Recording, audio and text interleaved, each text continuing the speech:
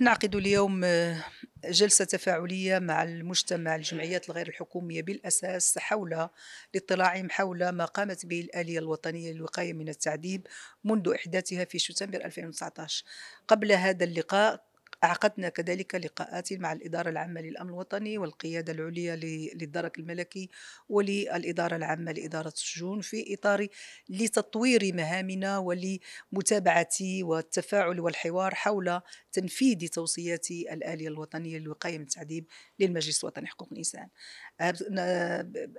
بطبيعة الحال هذا اليوم عنده أهمية بالنسبة لنا. أولا هي الذكرى العاشرة بعد مصادقة المملكة المغربية على البروتوكول الاختياري وإحداث الآلية وكذلك الذكرى العشرين لهيئة الإنصاف والمصالحة التي كانت من أهم توصياتها كذلك هذه المصادقة وإحداث هذه الآلية وزيارة كل أماكن الحرمان من الحرية تفاديا لعدم تكرار ما جرى سابقا من انتهاكات جسيمة لحقوق الإنسان.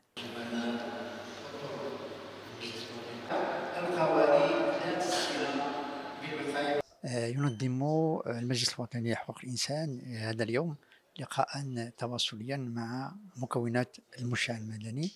وهذا يأتي تبعا مجموعة ديال اللقاءات والحوارات التي بدأ المجلس الوطني لحقوق الإنسان للتعريف بالآلية للتعريف بعملها بطريقة الشغل ديالها والإنجازات ديالها.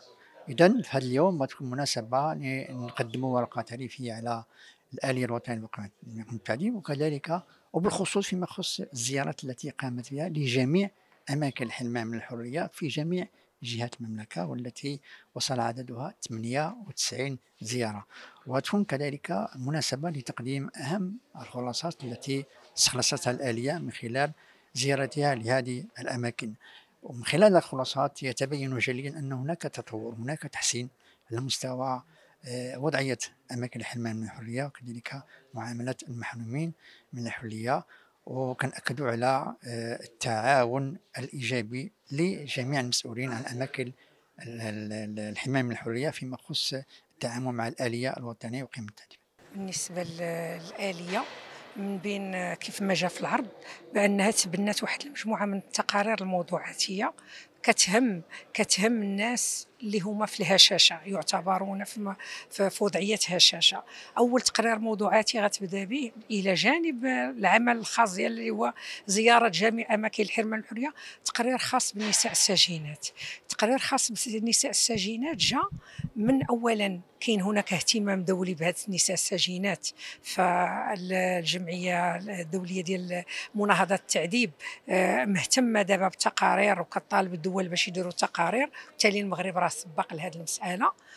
آه كيواكب هذا هذا النقاش الدولي. النقطة الثانية اولا ملي تبنيناه آه درنا بيان واحد المجموعة من الاجتماعات درسنا فيها الموضوع كيفاش غادي نتناولوه. أول حاجة أسسنا المرجعيات المرجعيات كاين مرجعيات كثيره ومتعددة اللي كتهم حقوق النساء آه، آه، المحرومات من الحرية. ولكن ما بغيناش نديروا داك التشتيت اعتبرنا المهم اللي كاين هو في آه، قواعد بانكوك وما كاين في قواعد نيلسون مانديلا.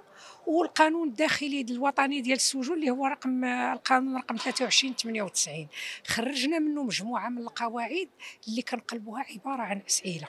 كنديروها في مجموعة من الاستبيانات يعني استبيانات يعني كاين الاستبيان مثلا على كل استبيان خاص كاين استبيان اللي خاص بالوضعية المعيشية آه، داخل السجون يعني كيف كيف يعيشنا النساء حقوقهن داخل المعتقل. كاين وضعية اللي خاصة بالجانب آه، بكل الحقوق اللي كتمسهم حق الصحة الحق في آه، التكوين والتأهيل باش يعاود يدمجوا هذا مهم بزاف لأن فيه خصاص. والحق أيضا في في في في المعيشة في الحقوق اليومية بما فيها بما فيها آه، استحمام تمكينهم من الوسائل الخاصة بالنساء بحال المسائل ديال الدورة الشهرية ديال هذا حقوق المرفقات أطفال واش كيوجدوا لهم شي فضاء خاص واش كيوجدوا لهم تغذية التقرير هذا في 2024 هذا كله غادي هذا هو الدراسة ديالنا على كل الحقوق اللي هي خصها تكون اللي وقع عليها المغرب وخصها تكون موفرة في هذا في هذا وبالتالي نقترحوا توصيات للنهوض بأوضاع هذه النساء وخصوصا خصوصا تأهيلهم لإعادة إدماجهم. هو أنه المجتمع المدني كان له دور أساسي في آه، يعني في الوجود إخراج ديال هذه الآلية الوطنية طبعا من خلال